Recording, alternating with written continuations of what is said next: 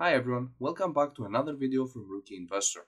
In today's video, we will go over the different types of stocks an investor or trader will encounter in the stock market. Stocks are separated mainly in two types, common and preferred stocks. However, when you start buying stocks, you will encounter many other categories which will expand on this video. So, starting with the two main types. First, common stock is a security that represents ownership in a corporation. The majority of stocks issued by companies are common stock. When you own a common stock, it gives you the right to vote on board members and other corporate issues at a company's annual meeting. Generally, one share equals one vote.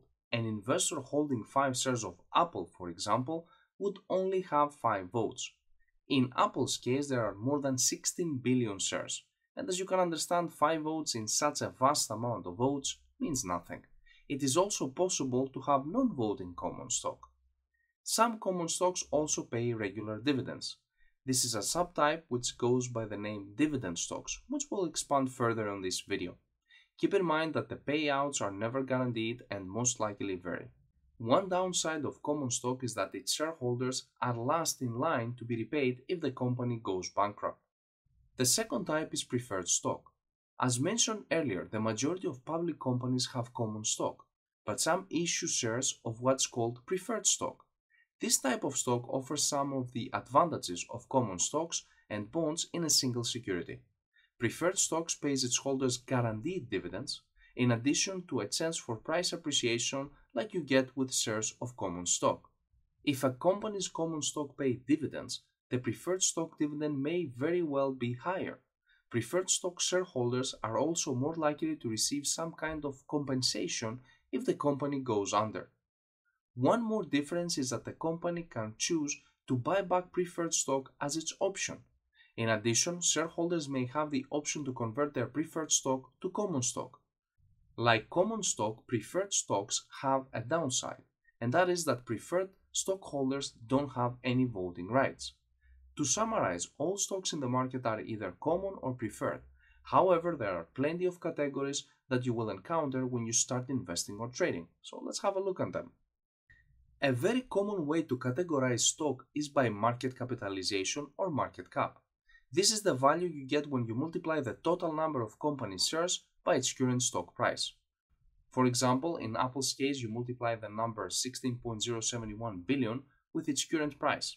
The amount you should get is close to 2.4 trillion dollars. That may differ depends on the price that the stock has today.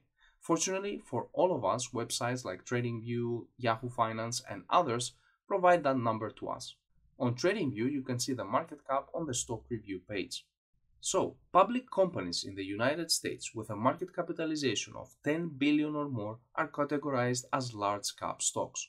Examples of large cap stocks are Apple, which for the record was the first company to be worth $3 trillion, Amazon, Alphabet, Exxon, Visa, Meta, Goldman Sachs, and so on. There are actually too many. All the companies mentioned are way above the 10 billion uh, mark. Perhaps they need to reconsider the number, to be honest. Anyhow, their tremendous size and influence over markets offer investors greater stability and less risk since such large cap companies often can navigate through tough periods much easier than smaller companies. Think of 2008 and even keep an eye on the market today, as this will be a very tough period for stocks. Larger companies have the funds to survive and prevail in the long term, compared to smaller companies. One downside of large cap stocks is that companies of this size tend to grow slower than newer, smaller companies. That means investors shouldn't expect massive returns from investing in them. Moving on, companies with a market capitalization between 2 to 10 billion are called mid-cap stocks. Mid-cap companies combine the stability of established business with more of the growth potential of smaller companies. Mid-cap stocks can offer the potential for growth as they expand their share of the markets where they do business.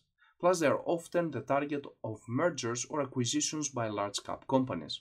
When one company, let's call it company A, buys another, company B, the stock price of the buying company, company A, tends to dip temporarily, while the stock price of the target company, company B, tends to spike the acquiring company's share price drops because it often pays a premium for the target company or incurs debts to finance the acquisition. Last, the small cap stocks are US companies with a market capitalization of 300 million to 2 billion. There are many times more small cap companies than the number of large and mid cap stocks combined. Small cap stocks offer investors huge opportunities for growth, and the small cap market is made up of a lot of future mid cap and large cap companies. At the same time, these stocks are among the riskiest investment options since small cap stocks experience high market volatility. Additionally, small caps can also include companies facing bankruptcy and companies that are positioned for acquisition. Investing in small caps brings the possibility of impressive gains with the potential for major losses. Another way to categorize stocks is based on two popular investment methods growth investing and value investing. Growth investors tend to look for companies that are seeing their sales and profits rise quickly.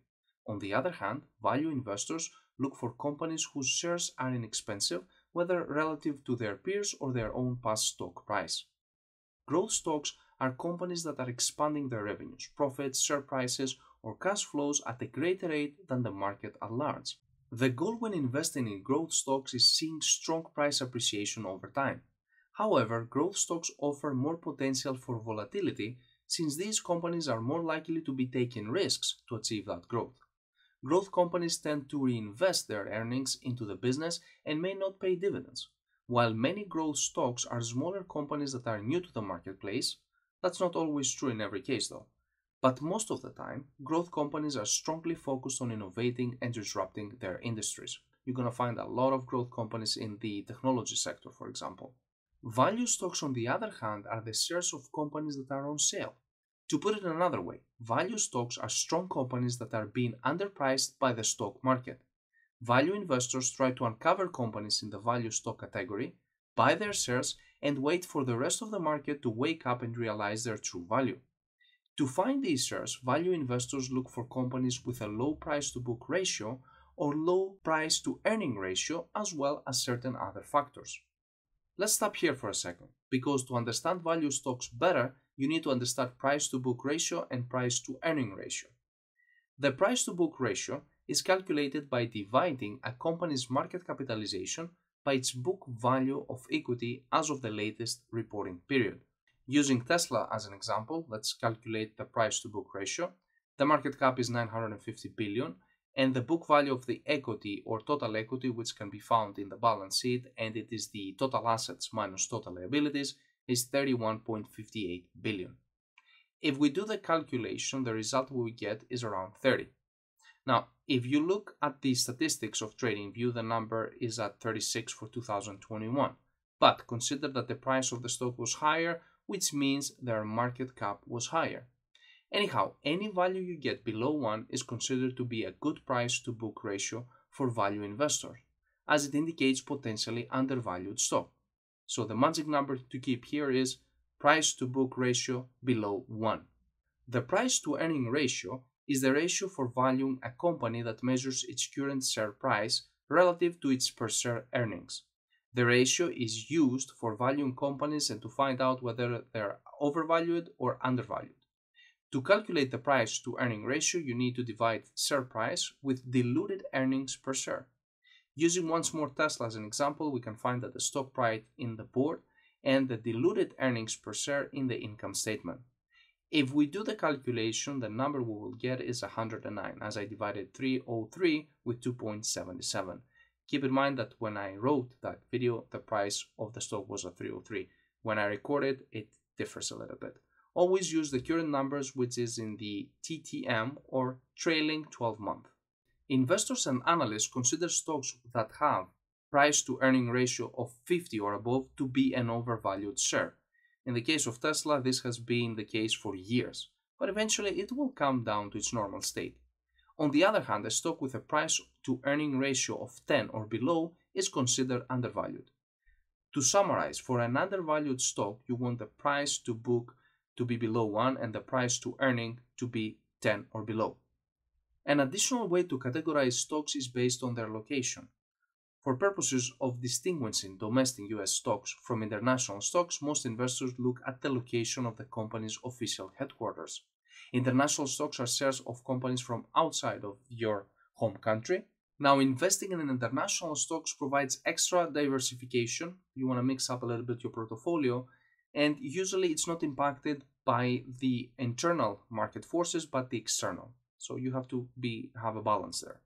Buying international stocks may give investors access to faster growing economies as well as different risk and return patterns. Additionally, though, international stocks can provide a hedge against the US dollar losing buying power. But when the dollar is strong, international stock returns can be weakened. When you invest in international stocks, you always need to keep an eye what's going on in the world. If you invest, for example, in a stock in Germany, and as you see, Germany now is suffering from gas and oil shortages, you want to be a little bit skeptical of how that will play in the long term. Over the last years, IPOs became very popular, and I'm certain you have heard of them. Private companies that want to get access to public stock markets often make an initial public offering. This involves listing their shares of stocks on an exchange like the New York Stock Exchange or the Nasdaq for sale to the public. Getting in a new stock is quite exciting, and many investors like to chase IPO stocks. But new, unproven public companies aren't always a sure bet. Over time, more than 60% of IPO stocks saw negative returns after five years. An example of an IPO was Coinbase, which when listed in the Nasdaq was trading for around $240 and now it's around 70. In general, many IPOs have a lot of hype behind them, so they tend to rise in the first few days or weeks and then decline heavily after. If you visit the Nasdaq website and go under IPO performance, you can see the last entries, and how they performed in the first, 30th, 60th day, and so on. In general, if you're interested in IPO stock investing, make sure you do your due diligence very well prior investing and consider also investing a small amount. Another category of stocks is the blue chip stocks. Investors who want steady returns and reliable dividends should check out blue chip stocks. While there's not a particular definition of a blue chip stock, these investments generally share a few characteristics. They are large cap companies with name recognition, decades long histories of reliable performance, a track record of steady earnings, and consistent dividend payouts. Does anything come to mind? Well, some examples are Berkshire Hathaway, Alphabet, MasterCard, Chevron, and so on. Keep in mind that since these companies are well established, expect the cost per share to be higher, plus don't expect major growth. The opposite of blue chips is the penny stocks, which are very risky, speculative investments that are in many cases outright frauds. As their name suggests, penny stocks have a very low valuations. Historically, penny stocks were, as their name implies, priced in pennies, coming in at less than $1 per share, though now penny stocks may run as high as $5 per share. Companies behind penny stocks are very often in financial trouble with collapsing businesses or even no real business in the first place. Penny stocks are not listed on major stock exchanges. They're traded over the counter and have vanishingly small trading volumes, making them highly liquid investments. Worst of all, penny stocks are favorite tool of scammers. Pump and dump schemes use penny stocks to deceive naive investors out of their money. Does this guy look familiar to you? What's The Wolf of Wall Street? It's a classic and explains very well the danger of being invested in penny stocks. Three categories of stocks that are quite popular are the dividend stocks, the income stocks, and the safe stocks. A dividend stock is a publicly traded company that regularly shares profits with shareholders through dividends. Many stocks make dividend payments on a regular basis. Dividends provide valuable income for investors, and that makes dividend stocks highly popular. Technically, paying even 1 cent per share qualifies a company as a dividend stock. However, not all stocks pay dividends or they have to pay dividends. Non-dividend stocks can still be strong investment if their price rises over time. Some of the biggest companies in the world don't pay dividends like Amazon, Meta, former Facebook for those who don't know Meta now, and Alphabet. Although the trend in recent years has been towards more stocks making dividend payouts to their shareholders. Income stocks are another name for dividend stocks, as the income that most stocks pay out comes in the form of dividends. However, income stocks also refer to shares of companies that have more mature business models and have relatively fewer long term opportunities for growth. These stocks are ideal for conservative investors who need to draw cash from their investment portfolios right now, and they tend to be favorable among those in or nearing retirement. Last, safe stocks are stocks whose share prices make relatively small movement up or down compared with the overall stock market. Also known as low volatility stocks, safe stocks typically operate in industries that aren't as sensitive to changing economic conditions. You will find them mostly in the utilities sector. They often pay dividends as well, and that income can offset failing share prices during tough times. The next category goes by the name cyclical stock and defensive stocks. Cyclical stocks are companies whose sales and their share prices tend to surge when the economy is growing out of an economic slowdown and into a boom. On the other hand, shares tend to fall and sales contract when the economy is slowing down. To put it another way, they follow the booming and the busting ride of the business cycle. Some cyclical stocks depend on consumer spending. These include retail companies, dining, technology, and travel. Defensive stock, meanwhile, are shares of companies whose business are less impacted by the ups and downs of the business cycle. Utility stocks, healthcare stocks, and consumer staple stocks are all considered defensive investments. That's because their revenue and potentially their stock prices remain steady in boom and bust economies. Some invest in cyclical stocks when they believe the economy is poised for growth and move to defensive stocks when they anticipate an economic contraction. This strategy is known as a sector rotation. It can be risky because no one can really predict the economy's next move with 100% accuracy. The last category of stocks in our list is the ESG stocks or environmental, social, and governance stocks. ESG stocks is an approach to investing where people only buy the stock of companies that exhibit responsible corporate behavior. ESG stocks are judged by a third party rating system to determine that they follow all the rules and they are environmentally sustainable, they are socially responsible, while uh, also maintaining a good corporate governance that encourages diversity and pays equity within the company. Investors who care about ESG investment consider every company to have stakeholders that go well beyond simply the stock market, including workers, communities, customers, and the environment. ESG stocks allows you to invest in companies whose corporate values align with your personal values. I hope that this video sheds some light to the types and categories of stocks you will encounter in the stock market. In the next video, I will talk about the stock sectors, so make sure you stay tuned. I will make more videos about stock investing, so make sure you hit the subscribe button and of course if you like the video, please smash that like button. It will mean a lot. Thank you for watching, see you in the next video.